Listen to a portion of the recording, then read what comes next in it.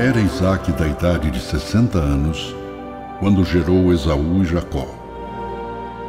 Duas nações e dois povos que tiveram o mesmo início, a mesma educação e a mesma família, mas que serão um contra o outro.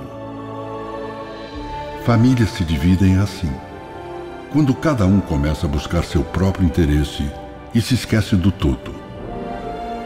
Por mais que Isaac e Rebeca tenham feito o melhor que um pai e uma mãe pudessem fazer, cabia aos seus dois filhos darem continuidade à fé que herdaram. Mas a história nem sempre continua do jeito que queríamos.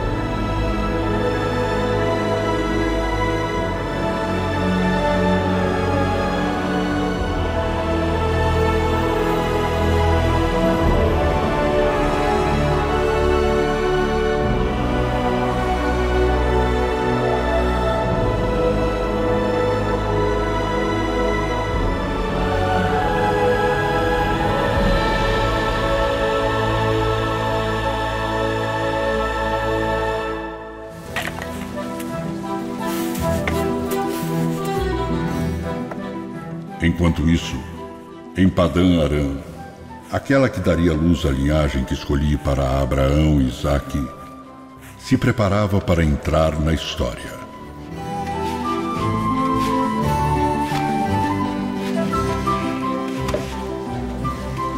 Bem, Erin? Descansa um pouco, mãe. Deixa que eu termino. É muita coisa, filha. A gente dá conta. Dá também, Sherry. Quem é que toma conta da Raquel? A gente fica de olho nela. Dá pra fazer as duas coisas ao mesmo tempo. Não vai se distrair e debulhar a criança por engano, hein? Ai, como você é engraçado, Ed. É melhor levar a vida na brincadeira, Zilfa, que com essa sua seriedade toda. Nem parece mais aquela menina levada e, e desengonçada. Eu cresci. Já você continua o mesmo tonto de sempre. Não é o que as outras acham. Falou o maior namorador de Aran. Faz isso só pra impressionar os amigos. Tem uma necessidade. de Essa conversa me deu uma sede.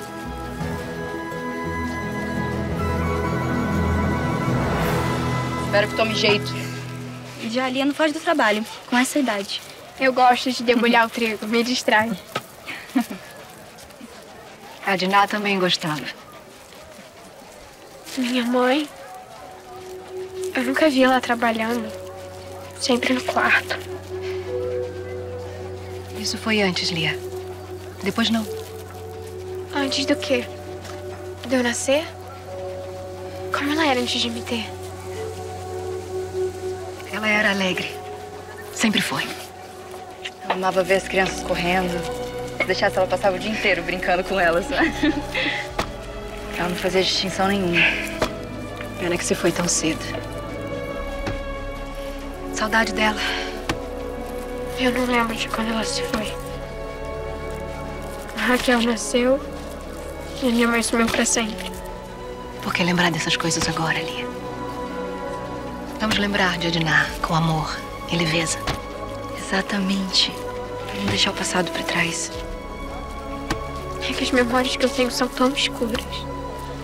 Como a água no fundo do poço. Como se a minha mãe fosse um sonho que nunca existiu. Lia, meu bem, não fica assim. Lia! Lia! Lia! Teu pai quer falar com você. Agora? É, quando ele chama é melhor de uma vez.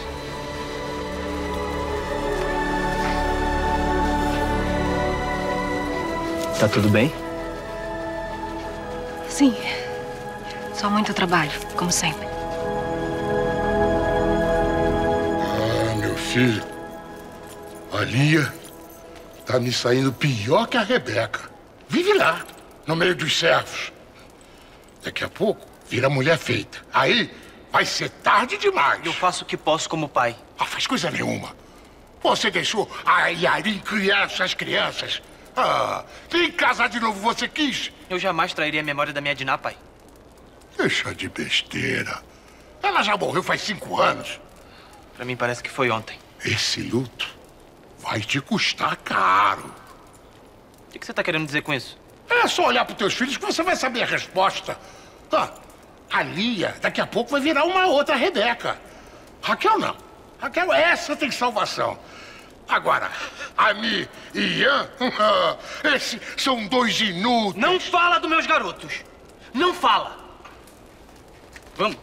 Vamos logo, eu não quero chegar atrasado lá não, hein? Ai, para de reclamar. E eu posso saber onde é que os dois vão?